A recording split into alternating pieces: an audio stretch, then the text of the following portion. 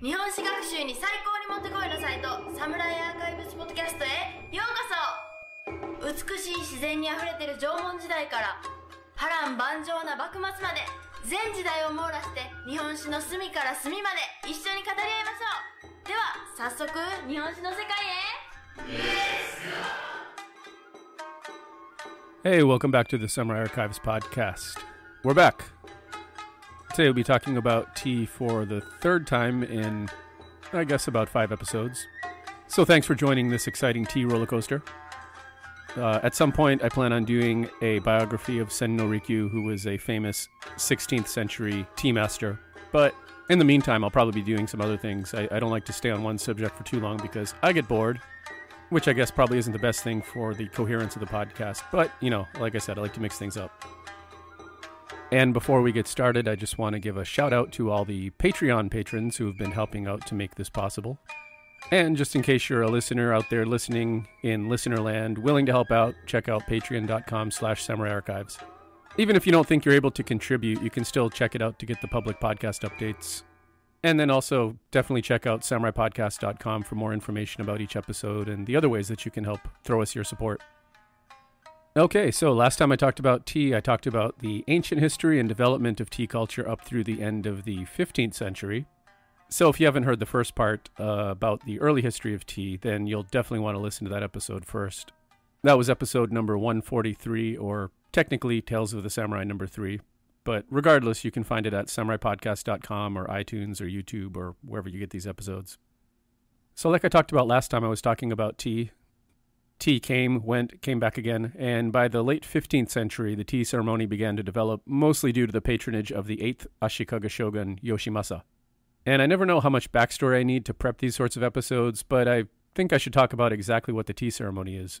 It's easy to forget that the average person probably has no idea what a tea ceremony is, Although I'm going to assume that if you're listening to this podcast, you probably have some notion of what I'm talking about. But anyway, the whole concept of the tea ceremony is basically the elaborate ritual that consists of someone making and serving tea to one or more guests. Even when and how you drink the tea is part of the ceremony. But that's really about it. That's the general idea, anyway. Basically, just a sit down, let's drink tea together thing where one person serves and the other people drink. Pretty straightforward concept. So, like I mentioned in the tea episode with Dr. Workman, which I think was episode 142, the modern tea ceremony as an art could be compared to a martial arts kata. So, basically, it's an organized set of movements that are an artistic expression of the practitioner.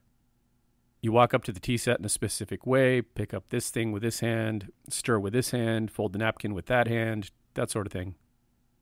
And like I mentioned in that episode, I learned the tea ceremony about once a week for six months years ago in Japan from a stern old Japanese lady. And I've been served tea at tea houses and that sort of thing. But that's basically the sum total extent of my knowledge on tea. I'm definitely not an expert, so I did a whole lot of research for these tea episodes, so you don't have to.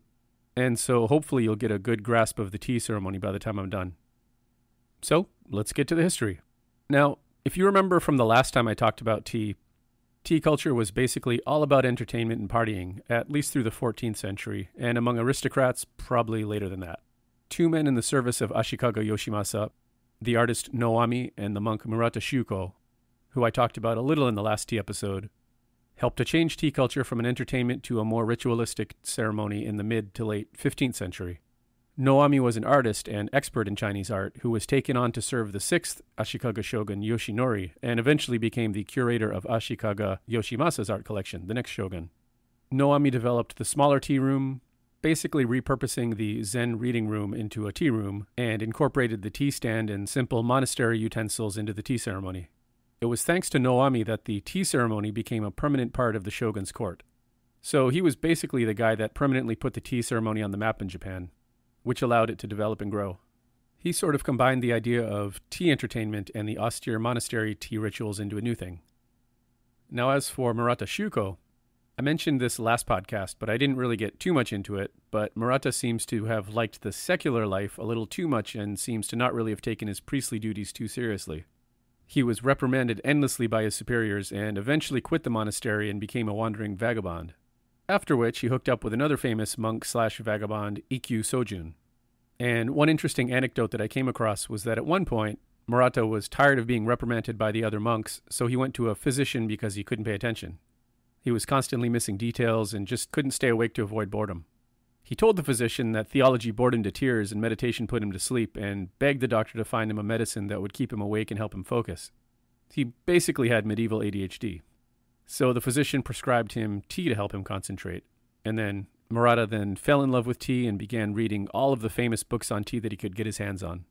It was through his tea obsession and tea study that he ended up in the employ of Ashikaga Yoshimasa. He apparently came into his employ through an introduction either by Noami himself or Noami's grandson Soami. Soami was Noami's protege and carried on his grandfather's work in tea after he died. And as usual, the sources differ on whether it was Noami or Soami, or maybe even a random aristocrat who introduced Murata Shuko to Yoshimasa. One 16th century document called the Yamanoue Sojiki tells it like this Yoshimasa, living in seclusion in Higashiyama, devoted himself to amusement in all seasons and both morning and night. One evening, feeling plaintive while waiting for the moon and listening to the cries of the insects, he summoned Noami, and had him read from the Tale of Genji, a passage about a discussion on a rainy night. And yeah, I gotta actually pause right here because, as an aside, if Yoshimasa is asking for a passage of the Tale of Genji, he must have been really bored because I've tried to read that like three times and I actually just gave up.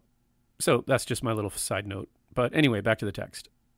They talked about all their old pastimes, from poetry and moon or flower viewing to balls, bows, fans, and the writing of poems using plant and insect names.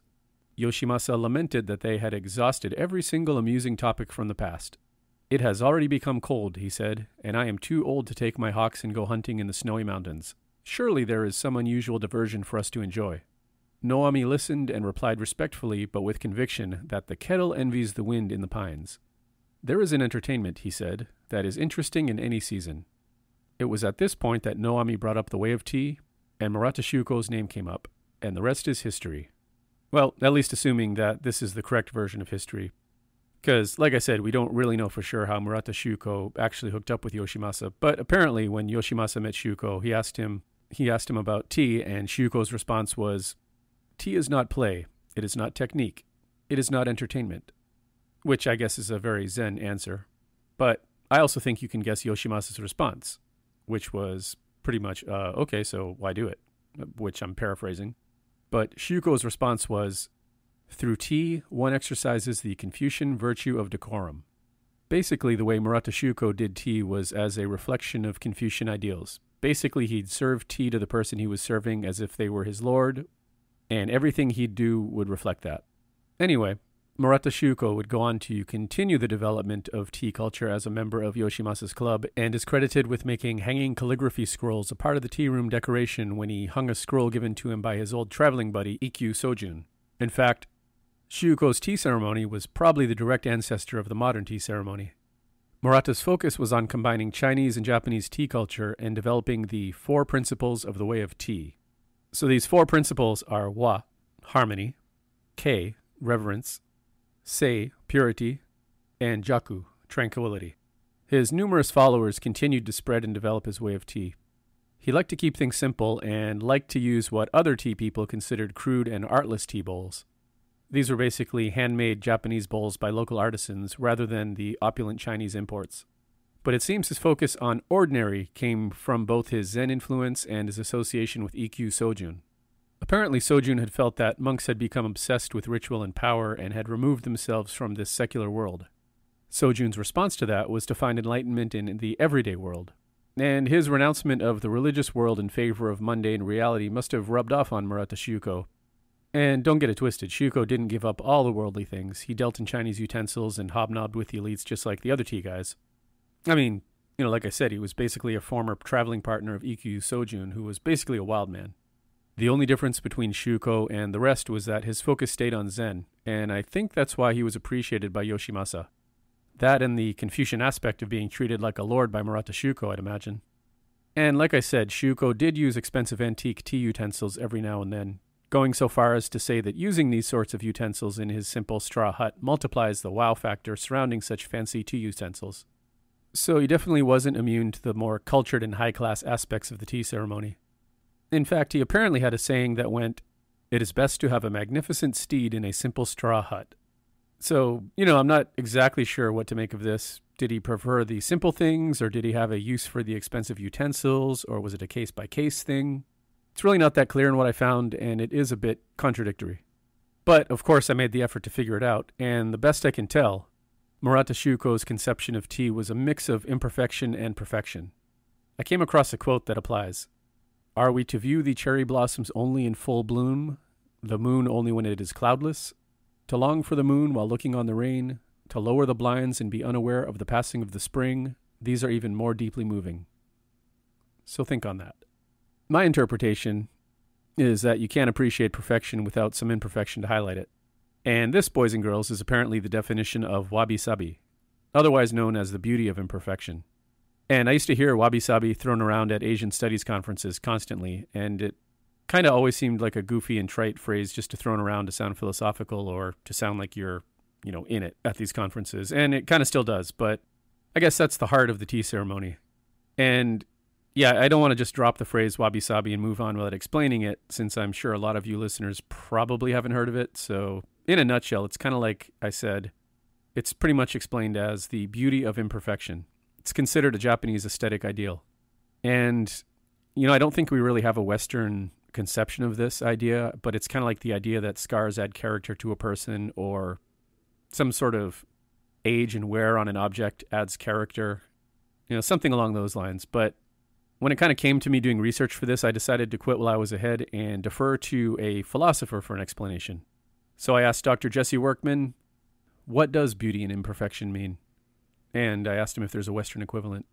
And he, he actually came back with a 45 minute treatise on beauty. So this is where I go all inception on you and present a podcast within a podcast. But I had to edit it down to what is specifically germane to this episode because I wasn't really planning on inserting a 45 minute treatise into the center of this podcast episode. But you know, just so you know, for the patrons on Patreon, his full discussion of beauty will show up on Patreon as bonus audio.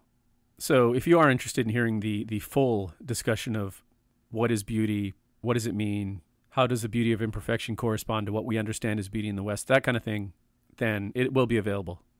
But for now, I'll defer to Dr. Workman Take it away. Wabi sabi, which is the Japanese idea of imperfection, adding to, enhancing beauty. We experience this. Uh, we don't have a concept in the West for this. I'm willing to stand in defense of uh, my words, although I'd be delighted to be refuted. Um, if somebody knows beauty better than I do, which I admit it's not my primary interest or it is not a reflection of, of what I studied. I don't know as much about beauty as I in philosophy as I know about phenomenology. But here in the West, most of the time, because of Christianity, of Platonism, of, of, of Judaism, even in the Bible, we are repeatedly exposed to it again and again. The idea of perfection is the highest and most noble thing and honorable. Perfection, permanence, unchanging in terms of, uh, of objects. In terms of situations, there are always ideals, always ideals that we're trying to strive for. And each and every one of those ideas can be traced in many ways the path can be traced all the way back to Plato's theory of forms. Aristotle had a different interpretation. It's it, uh, I'm not well versed in it, and I'm not entirely certain it would be useful to try to go into it as much. Probably wouldn't help me define the question I'm trying to answer. And that question is simply what does it mean, philosophically, that imperfection, asymmetry, ugliness, enhances beauty. It adds character. If you have, let's say, you have a walking stick, and nobody would call a walking stick a beautiful thing. Mm, no. Uh, it has a purpose, but it could be beautiful if it's a well carved walking stick, let's say, if it's got designs carved into the handle, if the wood is very smooth, if it's well honed. The craftsman's care for making it is evident in its design, in its shape, in how it curves, maybe. Yet, if we encounter uh, another walking stick, let's say that Craftsman A designs staffs and different staffs, sticks that help you walk, or even that are just ornamental. Craftsman A. He puts them out, they're beautiful, people buy them, they're wonderful, they're brand new. Now, Craftsman A has been doing this for 35 years. So if you find something he made, or she for that matter, 35 years ago, they weren't as skillful, let's say, and they don't have the same kind of finesse and polish and refinement as Craftsman A's work today. And what is more, the staffs carved by Craftsman A 35 years ago are pretty old, pretty beat up. They've been cracked, maybe. They've been scratched up. They've been bent, perhaps, if it has any give to it without breaking. Maybe the colors have faded, or the shellac has chipped off, or maybe some of the designs in the handle are almost flattened because the, you've been holding it for 30 years, or people have been using this for 35 years. The emotional response we'll have for it is that it's aged well and its beauty is enhanced, its character is deepened because this thing has been around for 35 years and people have been using it. They've been passing it from hand to hand. We're more inclined, I think, and I expect this is a universal trait. We would say that staff has more beauty because of its character. It has more character. It, it, it, it, enhances the beauty that still exists in the design by Craftsman A, in spite of uh, the fact that 35 years ago the craftsman wasn't as skilled as as they are now. Yet that old staff, because of its well-worn state, because it's ugly, it's somewhat uglified in a sense, isn't it? It's uh, it's lost a lot of those qualities in their sharpness that made it beautiful when it was brand new. Or, well, let's talk about a painting. Uh, painter painter B has been painting, let's say, for 10 years.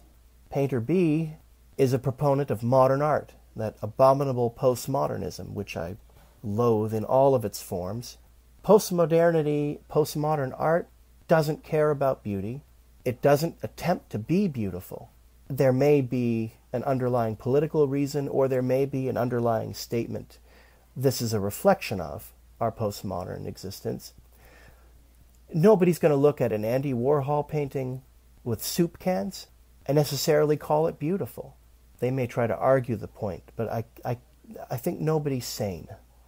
I think a minority of people would, would, because of the statement he might have been making with his pop art, well, it's beautiful. It's, pri-. And certainly his work is valuable. Um, abstract expressionism, okay, I don't think most people are going to call that beautiful. Okay? They might in terms of its chaos or its color mixing, who knows. They might suggest that Jackson Pollock, his works, have beauty in them, but I would argue that that's more because of the life of the man, of the artist, what he lived, how he what he went through the, the force of his personality imbues the, the work, more so than the qualities of the work that make a painting beautiful.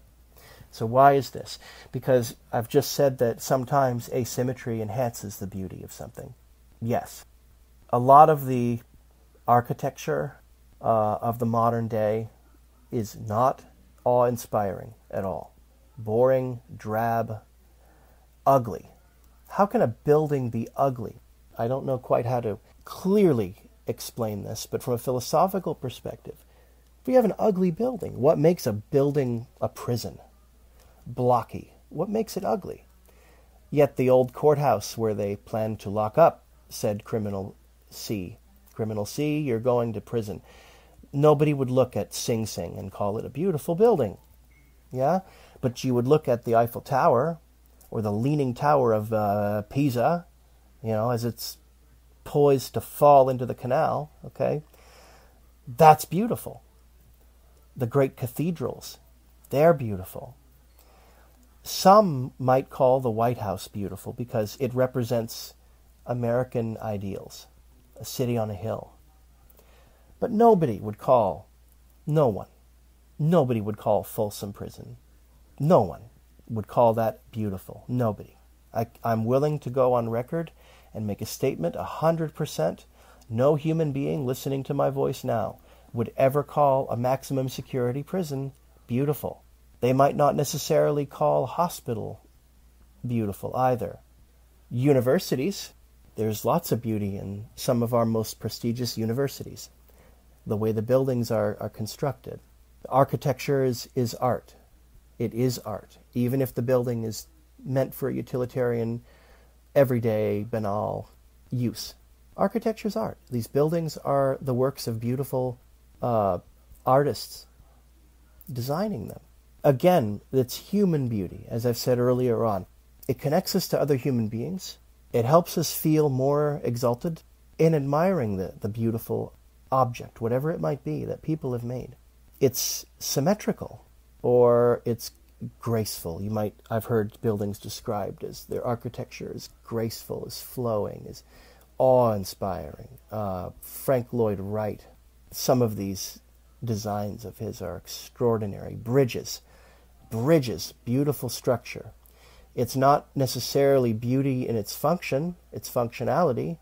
It's so we can get across the river and uh, and go home or go to work. But it's beautiful. The San Francisco, the Bay Bridge, beautiful. Beautiful because of its height, because of its length, because it it it might look it might look almost magical if it's narrow, if it's a you know the way the light hits it, beautiful. But it's a bridge. But no one would call a sewage treatment plant beautiful. Although one might, I have certainly great respect for sewage treatment plants. It's, a remarkable invention, actually, if, if you read up on them. It's extraordinary that human beings could design a system that, that is so efficient and effective in what it does. Why? Why? Now, what if one of these beautiful buildings, what if part of it was stove in uh, by a big storm, say? Well, we might rebuild it. We might try to restore it to the way it looked before. Or, sometimes, depending on the nature of the damage, might be left left alone. Uh, in many cases, it would not add to its beauty. So we, we can certainly understand the wrong sort of uh, asymmetry and ugliness. It can cancel out the beauty of the whole, which is unfortunate. But we know that an old gnarled oak tree or a Christmas tree that's not symmetrical we might experience that as more beautiful than something that is perfect, that is perfected. But in our case, it's not because of Buddhist concepts. It's because, in order to understand beauty, we have to know ugliness. Without something to compare it and contrast it to, we cannot make that determination, and we will not experience that. If we live in a world where everything is everything is purely ugly, okay? Or very very boxy, very utilitarian, where our poetry is is drivel, where our our works of art, painting, sculpture, more drivel, postmodernism. No one is going to know what beauty is. You won't have the tools. You won't have the ability to experience beauty. That will be gone or dwarfed, stunted undeveloped. I didn't grow up listening to classical music. I have some acquaintanceship with it. I know it's very beautiful. It doesn't do anything for me most of the time. I didn't grow up with it. I don't have a sense of its beauty. There wasn't the contrast in, in my modern day upbringing. The contrast didn't exist. Opera. I do not like it. It's a, a reflection of my taste, perhaps but I grew up listening to popular music, country, folk music. Although I find I listen to a lot of music that's less well known because it's more authentic, which isn't the same as beauty, but the two intertwine. If you lack the contrast, you cannot experience beauty. It's far more difficult because that, that perceptive ability might be blunted if you grow up in an ugly world. Now, it might be if you grow up in an ugly world and they take you out to the mountains, to a lake, to a river, you might be able to understand that you're in beauty. It might reach you to your very soul, or it might bounce off you. Because why? So what? You don't have the breadth of experience to code for that. So it will just bounce off you. It will take you to uh, one of the great, the great cathedrals uh, in England or France or what have you. Well, it's just a big building, you know. So what? It's uh, it's really just a big giant building. Uh, it looks a little different. It's remarkable, kind of, in its difference. But it doesn't look like the other buildings around it. But that beautiful church with the high steeple, I mean, the gargoyles. So what? And gargoyles are actually a great example because they're meant purposefully to be ugly. And yet, what are the most beautiful buildings in our world that we in the West agree are the most beautiful buildings in our world? If there are people left who still understand beauty and its implications that haven't been poisoned by our admittedly very unattractive modern world that we live in, those gargoyles enhance the beauty of the cathedral. Because then, even more, they don't uglify it the way damage would. They beautify it because the craftsmanship that went into designing and building them against and contrasted against the rest of the building. The flying buttresses, the way the light reflects off the stained glass. Those gargoyles are the final finishing touch that adds an enhanced character and quality to that building. It would be less beautiful if they were not there. Even though you'd still have the, the majestic quality, the spire, the stained glass, the flying buttresses, perhaps, the, the, the, the engravings on the stonework, all that would be there. But if those gargoyles, if they were struck down by lightning or a storm or a, a bomb or something, they're gone. That building wouldn't have anywhere near as much beauty looking upon it from the outside as it does with them there. We instinctively feel this concept that sometimes, given the right circumstances, ugliness, a blemish, an imperfection adds character, it adds depth because it helps contrast for us more effectively. It's not the same in the East, and Chris will talk about this more. They're coming out of a different paradigm, a different worldview, different uh, train of, of, of thought, and, and subsequently different experiences of, of beauty, different taste. Beauty has been discussed by these philosophers. They've argued about them in the West since the pre Socratics. In our modern day, I think that the concept of beauty is diminished.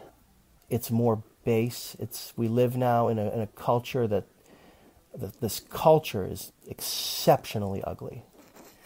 Uh, no, very little high art anymore. You know, poetry. Oh, come on, it's a laugh. It's a joke. You know, there might have been a time 50, 60, 70 years ago when you would hear different poetry, different rhymes, meters, whatever, you would find the people breaking all those rules are creating more beautiful works of art, of poetry, than the very rigid doggerel. But now, because no one is upholding those standards in language, in poetry, even the good in free verse poetry or rap or even slam poetry even the good, virtuous qualities that are in those creations that artists have made, the beauty is diminished because the contrast isn't there anymore, because we don't have the full range of, of poetry, metered rhyme, song. We don't have that as part of our culture anymore. You can still go learn it, but it's not part of our culture. But having said that, I would argue, in closing, the West is always accented towards perfection, towards the exceptionally beautiful. Everything that exists is supported by perfect form, abstract form, permanence. It's, it's stable, it's unchanging.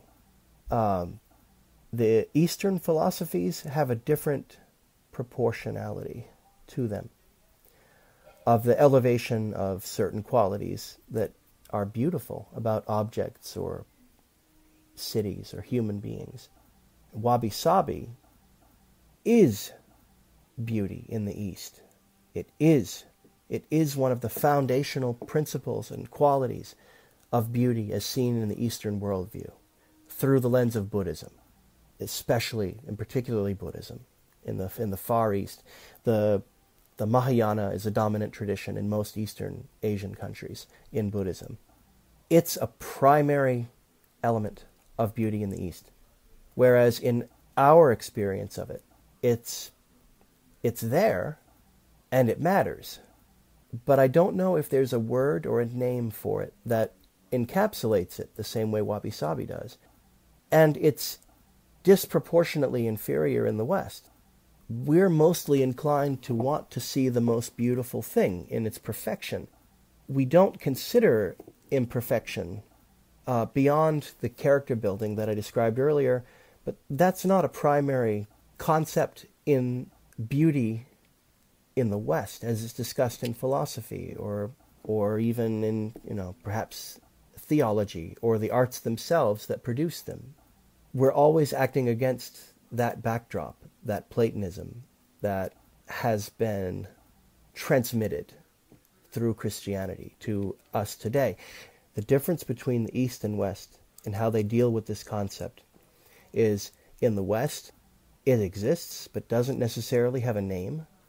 It's more uh, an experience of the individual according to that person's taste Whereas in the East, it's a primary concept in how they view the world. Through the lens of Buddhism, it's, it's, uh, the Buddhism doesn't talk about unchanging, eternal, perfect abstractions. It doesn't, it doesn't in any way allow for that. It can't because its, its entire reason for what it's communicating in the sutras is to help people escape samsara, you know, the constant rebirths, and to understand the imperfection, the, the, the, the quality of uh, temporary impermanence. Everything is impermanent. What's more, it's an illusion. It's not real. It's a totally imaginary world. And so to have permanence in that goes against the paradigm. I'm not saying that they, they don't have admiration for perfection or basic symmetry. It's their standards are different from ours. Their architecture and their paintings, different styles, calligraphy. But it isn't designed to be symmetry, symmetrical, because they're drawing from their culture a, a craving for permanence uh, of, of encapsulating what the truth is, the truth. For them, the truth, underlying everything they do, is impermanence. Impermanence. Wabi Sabi isn't equivalent to anything in the West, I would argue. We don't have a concept. We don't have it that elevates imperfection to the highest level of our experiential understanding of beauty we don't have it. So that's that's all I've got to say. Uh, there's no named equivalency of wabi sabi to any concept in the West that I can come up with.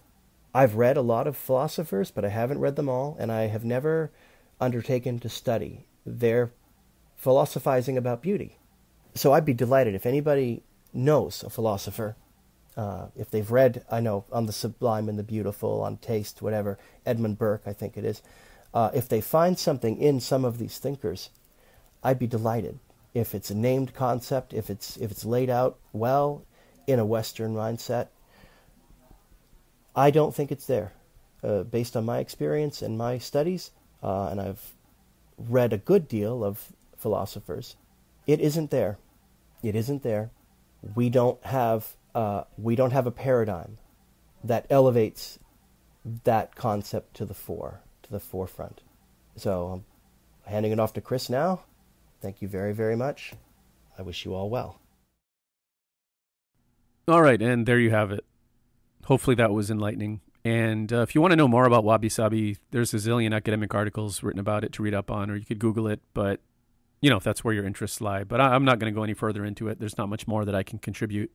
So hopefully you get the general gist of the idea at this point. But anyway, before that interlude, we were talking about Murata Shuko, and before we move on, I'll read to you a letter written by Shuko to his main disciple, which outlines his philosophy of tea. In this way, chief among evils is heart's overbearance, attachment to self. Begrudging the masterly and scorning beginners are thoroughly wrong headed. You must approach the masterful, beseech their least word, and never fail to guide beginners. Critical above all in this way is the dissolution of the boundary line between things native and Chinese.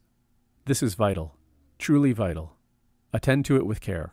Further, these days, mere beginners take up pieces of bizen or shigaraki wares, talking of the chill and the withered, and they make a show of being advanced and deepened, though ignored by everyone. It defies utterance. Withered means owning splendid pieces, knowing their savor fully, and from the heart's ground advancing and deepening so that all after become chill and lean. It is this that has power to move.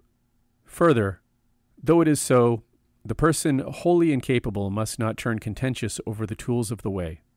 And however artful one's motions, a painful self awareness is crucial. Overbearance and attachment simply obstruct. And the way lies unattainable if there's no overbearance at all, also. And Shuko ends this letter with a philosophical quote, which states Grow up the heart's master, not the heart mastered. So, in other words, keep all worldly desires under control. Master your desires, don't let them master you. So, at this point, we'll move on to the next generation of tea masters. Takeno Jo is another guy on the Mount Rushmore of tea. He was born in 1502, which coincidentally was the year that Murata Shuko died. And for some historical context for the listeners that know Japanese history, that was during Japan's Sengoku period, the Warring States period. Takeno Jo was born about five years after Sengoku daimyo Mori Motonari and about 32 years before Oda Nobunaga. So that should kind of give you an idea where he fit in historically. And the Takeno family was supposedly descended from the Takeda of Wakasa province. And Takeno's father apparently changed the name from Takeda to Takeno. And don't mistake this Takeda clan for the Kai Takeda, otherwise known as Takeda Shingen's clan, the Wakasa Takeda were apparently a corollary branch of the Kai Takeda, but as far as I know, they weren't directly associated except in the old PC game Shogun Total War, so not really sure exactly what the relation was there. But the Wakasa Takeda were mostly known for their cultural pursuits and also for backing Akechi Mitsuhide when he rebelled against Nobunaga. And if you know Japanese history, that didn't work out at all. Mitsuhide was killed, and so was the head of the Wakasa Takeda and I'm not really sure what happened to them after that. But anyway, back to Takeno Jo.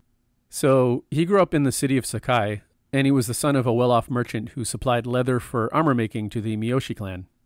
And for whatever reason, Takeno Jo didn't follow in his father's footsteps. He was apparently a poet first, having studied with the aristocrat Fujiwara Sanetaka, who also eventually introduced him to tea. Takeno later gained patronage from the on again, off again allies of the Mori clan, the Ouchi.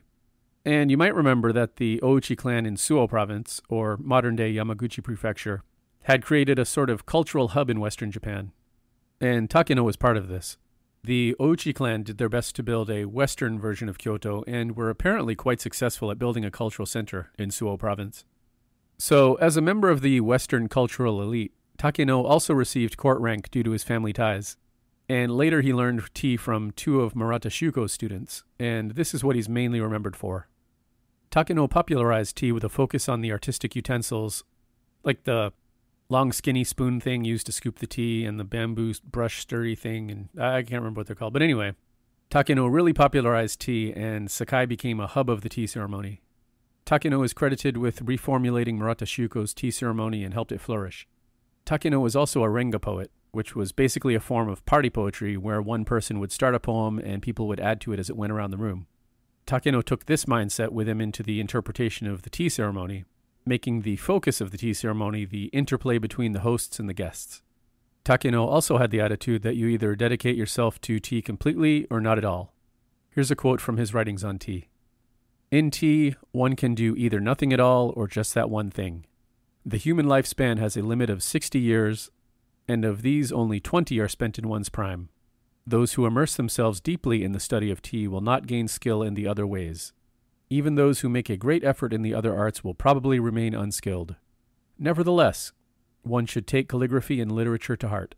So basically, uh, I guess aside from a commentary on the sorry state of the medieval Japanese healthcare system, I guess he's saying that if you're a tea master, you can only be good at that, but do other stuff too. I, I, that kind of leaves me wondering if maybe he just wasn't good at other things and this was his excuse. And uh, before I move on, I also want to mention that another reason that Takenojo is remembered is because of some of his tea disciples. You'll find notable samurai including Matsunaga Hisahide, Hosokawa Fujitaka, and prominent members of the Miyoshi clan. And lastly, before we move on, Takenojo left 12 commandments that explain the expectations that he held for his students to correctly perform his type of tea ceremony. And in case I didn't mention it at some point, the term Chanoyu refers to the way of tea. So these are his 12 commandments. One should practice goodwill towards others. One's manner should be correct and harmonious. One must not be critical of the gatherings of others. One must not be filled with pride. Do not covet utensils owned by others. It is entirely inappropriate to think of chanoyu only in terms of utensils. One soup and three other dishes are suitable to the meal. One should not exceed that amount even for special guests. Men of tea may find utensils that have been discarded and use them for tea. How much more is this so for ordinary people? Men of tea especially hate to be seen as such. The man of tea observes a spirit of wabi and leads a life of quiet retreat. He should know the precepts of Buddhism and experience the feeling of Japanese poetry. One should lead a secluded life and feel sabi. One should also strive for the middle way, for one who appears too splendid is wanting, and if too wabi, simple or slovenly. There should be no chanoyu that does not consider the heart of the guest. Such would not be sincere tea. One's own chanoyu should also be like this. Also, one should not impose upon one's guest or ask them for help. So I think you can see he's tying tea philosophy and Buddhism with a focus on a simple and austere life with a focus on the person receiving the tea. By the time he died in 1555, austerity was the last thing on the aristocrats and nobles' minds of Kyoto and Sakai, where indulging in tea was super popular. The market for famous and collectible tea utensils exploded, and merchants, nobles, and aristocrats dropped tons of cash on these things to impress their neighbors. In fact, merchants collected expensive tea wares in order to get in good with the local daimyo. It was basically another means of upward mobility for lowly townspeople. The cash flow into tea culture and tea utensils at this time kind of reminds me of the old times in the 13th century with the massive opulent tea parties. Although in this case, interestingly enough, the nobility tried to act as though they were doing things the proper simple way all the while using stupidly expensive tea utensils, of course. But one author of the time took them to task for that and said something along the lines that an actor playing a beggar in a no play doesn't live in a mud hut in real life, so these nobles shouldn't pretend that they are living in austere poverty. He was basically telling them to stop faking it. They were putting on airs pretending to appreciate austerity while being filthy rich for simple entertainment, and I guess that didn't go over too well. Also, by Takeno's death, tea had caught on with pretty much everyone who could afford it, from merchants on up to daimyo and the shogun. And all this brings us to probably the greatest tea master of all, Takeno's star pupil, Sen no Rikyu. And like I said up front, I want to dedicate a full podcast episode to him in the future, so I'm only going to go over some basics, but Rikyu also grew up in Sakai, and for whatever reason, his fishmonger father pushed him into tea. Which in his case turns out to have been the right move, since we all know Rikyu's name 500 years later. Rikyu first started studying tea under a student of Noami, and then ended up a student of Takenojo. Rikyu's training allowed him to meld the more austere and noble tea styles of Ashikaga Yoshimasa with the more common everyday style of Sakai's tea groups. And he not only became a respected Zen master, but also the most respected tea master in the history of Japanese tea. Rikyu was so respected, in fact, that it was said that whatever he did was considered correct when it came to tea. He could use utensils that would normally be considered the wrong one, or change the layout of a tea room, whatever he wanted, and it would be considered art. I guess you could say it's like a Jackson Pollock painting. I mean, I can splash paint on a canvas in random patterns just as well as the next guy, but I can't sell it for a million bucks because I'm not Jackson Pollock. But Jackson Pollock can.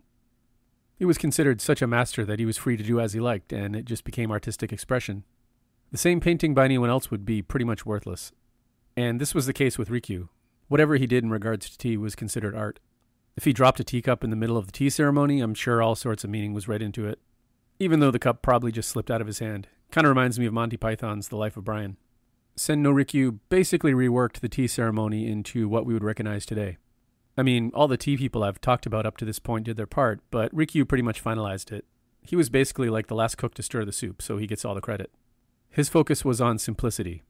He took the tea ceremony out of the grand pavilions, removed the entrance that would have been dedicated to the nobility, and preferred a small room reminiscent of a peasant house or hut. He also lowered the door so that everyone who entered had to duck down, symbolically reducing everyone to the same level. On top of that, much like Murata Shuko, he stuck with simple tea utensils crafted in Japan rather than the popular tea implements imported from China. His philosophy of tea was basically that the simple act of preparing tea was a step towards enlightenment, and he developed this style of tea in Sakai until the warlord Nobunaga came knocking. Rikyu became a tea master for Nobunaga in 1579, after Nobunaga had risen to prominence by killing mobs of people for the past 20 years or so. And for whatever reason, Nobunaga was a big fan of tea culture, and he wanted the most famous tea masters working for him. And Rikyu fit the bill. Nobunaga seems to use the tea ceremony as a way to enhance his own status, but also as one of many means of control, by bestowing expensive tea bowls on followers and legislating who could practice tea. Nobunaga died in 1582, assassinated by his general Akechi Mitsuhide. And after all the dust settled from that incident, Oda Nobunaga's former sandal bearer, the monkey faced peasant Toyotomi Hideyoshi was in control, and Rikyu began to serve him as tea master and eventually became a trusted advisor. And I talked about this in episode 142, but Rikyu had a hand in Hideyoshi's famous tea gathering, the Grand Kitano tea ceremony of 1587. The tea ceremony brought together over 800 tea masters, students, nobles, and warriors, and Hideyoshi cut the ceremony short for reasons that aren't too clear. Some sources say that there were problems in Kyushu that had to be attended to. Others indicate that Hideyoshi felt upstaged by Rikyu and cut the party short because of that. But through becoming so close to the rulers of Japan, Rikyu basically became the last word on all things tea for a good 12 years or so. Until, that is, he was forced to kill himself on orders of Hideyoshi for reasons that are still unclear. Suffice it to say, after Rikyu died, Hideyoshi kicked all of Rikyu's disciples out of Kyoto and tried to take tea ritual away from everyone and make it solely the domain of the samurai. He failed, obviously, and after Hideyoshi's death, Rikyu's way of tea was the one that had won out pretty much for all time. From this point on, tea became ingrained in Japanese culture, and as we know, you can still find it there today, right next to the boxes of Pocky, cans of CC lemon, and the Kinoko no Yama chocolate mushrooms. Right there on the shelf. So that pretty much completes the history of tea, generally speaking, up through about the 16th century. And uh, at some point in the future, I'll dedicate an episode to Sen no Rikyu and probably look more into the tea ceremony. But hopefully, this and the last tea episode should give you a fairly comprehensive history of tea in Japan, at least through the Sengoku period.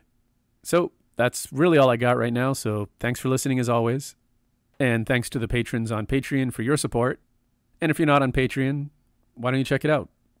Patreon.com slash Samurai Archives. Every single dollar helps make the podcast better, and every single contribution is appreciated. And if you can't help out financially, which I totally get, how about a five star review on iTunes? Just a thought. I love checking out iTunes and finding a new review. That totally makes my day. Well, except the ones that complain about the F word when the episode is marked as explicit, but whatever. All right, I'm out of here. Enjoy your tea, and I'll catch you next time.